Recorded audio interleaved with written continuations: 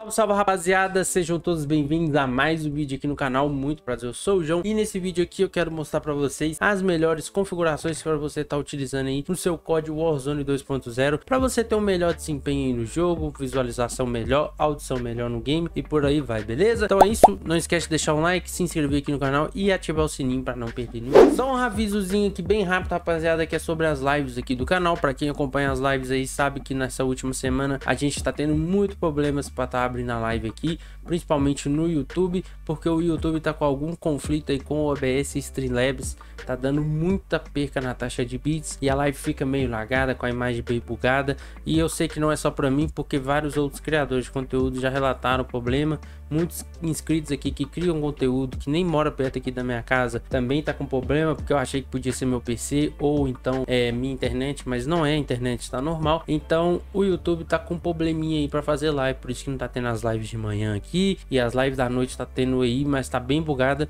Mas o link da Twitch tá na descrição, rapaziada. A gente faz multi-stream tanto no YouTube quanto na Twitch. E pra Twitch não tá bugada, então se você quiser assistir a live na melhor qualidade possível, assiste lá pela Twitch que vai ser melhor. Eu vou estar tá abrindo no YouTube só para chamar vocês para vocês colar lá pela Twitch, tá? Beleza, rapaziada?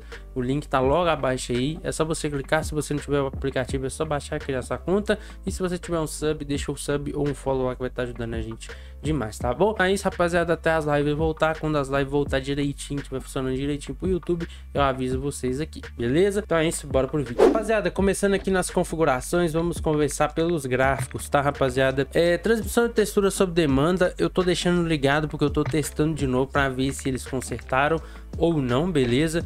Então, mas eu recomendo vocês deixarem ela desligado de volta porque, rapaziada, ela tá meio bugada, tá dropando uns frames aí. Como o meu monitor tem o contador de frames, eu tô deixando ele ativado. Tanto o contador quanto a textura sob demanda para ver se vai estar tá dropando frames ainda quando estiver utilizando ela. E depois eu tô fazendo um teste sem utilizar para ver, ok? Textura sob demanda, ela serve para melhorar a qualidade gráfica do jogo, das texturas e ela vai baixando ao vivo aí no seu console ou no seu PC. Mas por enquanto deixa desativada até eles confirmarem que consertou, beleza? Perca de força de movimento do mundo, perca de foto do movimento da arma, granulação e profundidade de campo, deixa tudo desligado, rapaziada, que isso aqui só serve para a campanha, de resto isso aqui vai te atrapalhar demais, ok?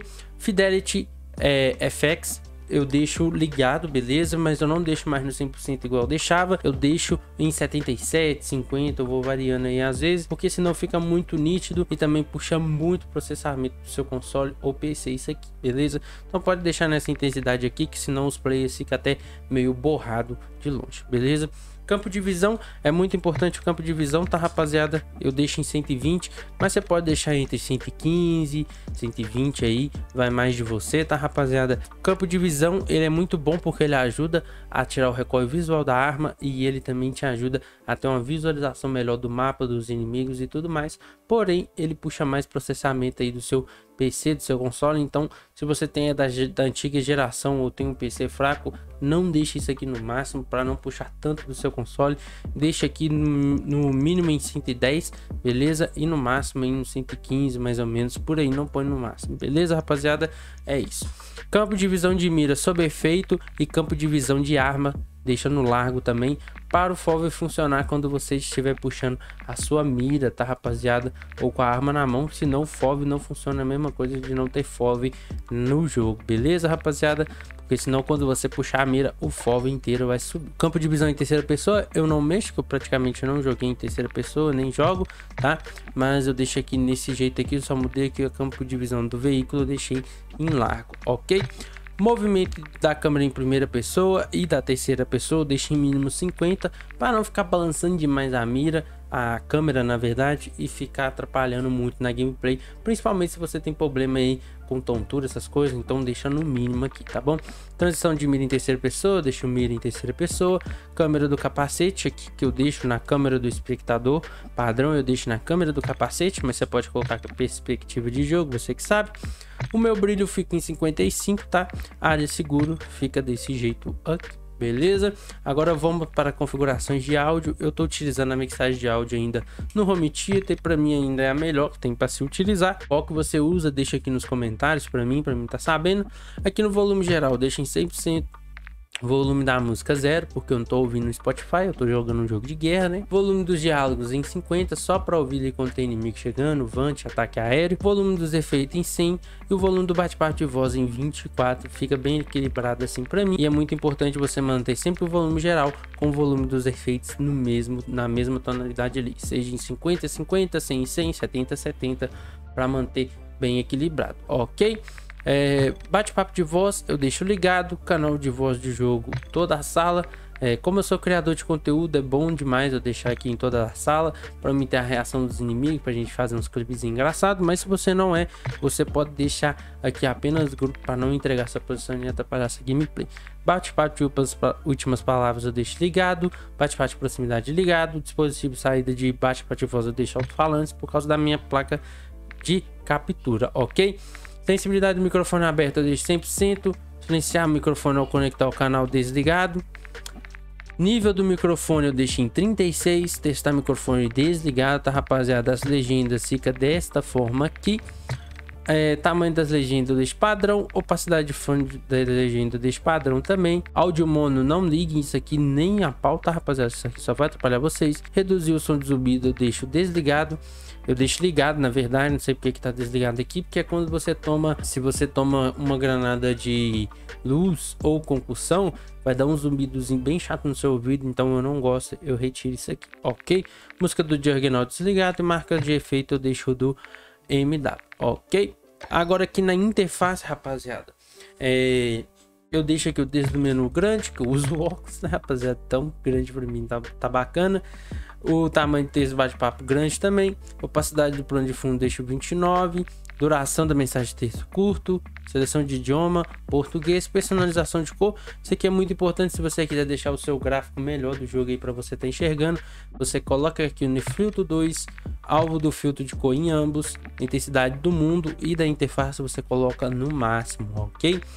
É, paleta de cores aqui eu nem mexo, tá rapaziada? Eu deixo aqui do jeito que tá mesmo, tá? É... Outra coisa aqui, formato do minimapa, deixe sempre no quadrado. Se você utiliza o redondo, você está perdendo. É como se fosse um campo de visão no minimapa aí para vocês. Então, deixe sempre no quadrado, ok? Rotação do minimapa ligado, tem que deixar ligado, tá, rapaziada? Para você ter ver direitinho onde tá os inimigos no minimapa, bússola horizontal ligado, miras ligado, visual das marcas de acerto eu deixo ligado também para saber que eu tô acertando tiro no oponente, marcas de acerto baseado em dano eu deixo também ligado para saber quando eu tirei o colete do cara, se ele tá com plate ainda ou se eu já matei, finalizei, então deixo ligado. Nome dos jogadores eu deixo o nome completo, bate-papo de texto do jogo ligado, aviso de interface de veículo desaparecer depois de 5 segundos, latência do servidor ligado, perca de pacote e relógio eu deixo ligado, né, rapaziada?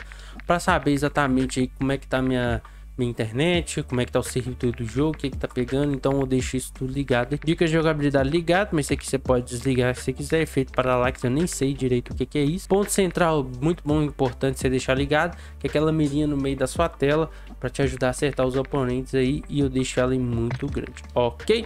E por último aqui, rapaziada, configurações de controle, no editar esquemas de botões eu não mexo, tá bom? Mas se você não tem um controle com pedals, que é meu caso, eu tenho um controle com pedals, se você não tem, você coloca aqui, ó, um saltador tático, que é o melhor que vai estar tá tendo para você utilizar, porque você vai conseguir pular e é, fazer o deslizamento aí sem tirar o dedo da mira, isso é muito importante. Marcador grande, trocar LB pelo LT e RT pelo LB, RB eu não mexo, deixo tudo desligado.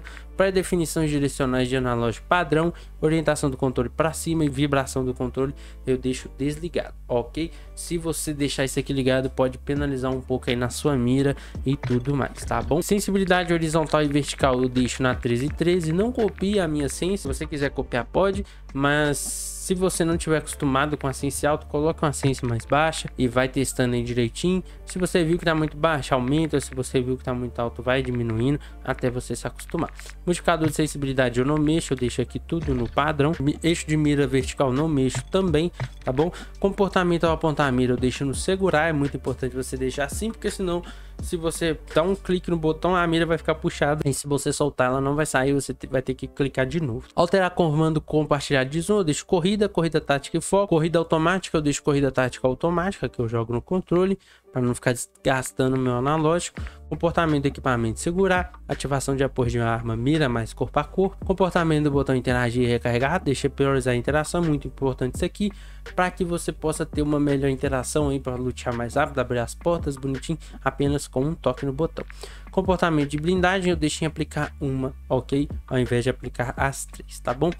Ajuda de mira de precisão eu deixo ligado, o tipo de ajuda de mira eu deixo no padrão, você pode colocar aqui o Black Ops que é muito forte também, você decide aí, esse aqui é o famoso Ai assiste.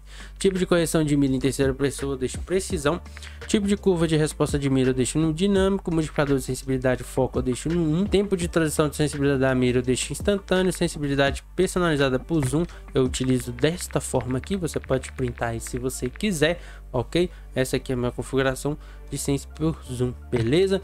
Comando zona morta, eu praticamente não mexo aqui, que eu mexo no software do meu controle. Se você quiser comprar o controle do meu, tá na descrição aí, tá bom? O link. Lembrando, rapaziada, se você está curtindo esse vídeo aqui, não esquece de deixar o like, se inscrever no canal e ativar o sininho. E cogitar se tornar um membro ou um sub do canal. Sub você pode se tornar através da Twitch, gratuito se você tiver Amazon Prime. E o membro aqui a partir de R$ 2,99 você ajuda a gente mais. Faça parte do nosso grupo do WhatsApp que tá na descrição aí ou do nosso servidor do Discord. Avançar automaticamente, eu deixo aqui desligado comportamento da corrida tática, um toque para super corrida, transposição terrestre ligado, transposição automática aérea parcial, transposição automática terrestre desligado, é, inverter comportamento de deslizar e mergulhar eu deixo padrão, tá? Mergulhando embaixo de água eu deixo aqui é, movimentação, você pode colocar aqui mergulhar movimente se você quiser. Ativação automática do paraquedas eu deixo ligado, que tem hora que eu esqueço, aí eu morro de queda.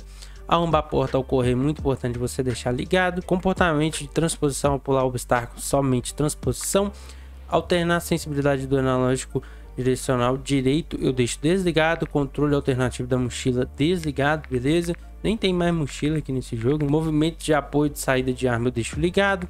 Atraso de saída de apoio de arma médio. Troca de arma sem munição eu deixo ligado, porque às vezes você esquece de trocar e a arma acaba a munição na trocação. Detonação rápida de C4 eu deixo ligado. Recentralizar a câmera do veículo eu deixo desligado, beleza? Posição inicial da câmera, visão livre. Atraso da roda de marcação moderado, atraso de toque duplo para perigo moderado. E comportar comportamento de roda radial deixo no segurar. Então, rapaziada, essa aí é as melhores configurações para você estar tá utilizando no jogo, beleza? Espero que possa ajudar vocês aí, espero que vocês tenham curtido. Não esquece de deixar o like, se inscrever aqui no canal. Em breve aí as lives vai voltar direitinho, só esperar eles consertarem isso aí. Mas hoje às 20 horas tem live aqui no canal, tá bom? Conto com vocês, é nóis, valeu, falou e fui!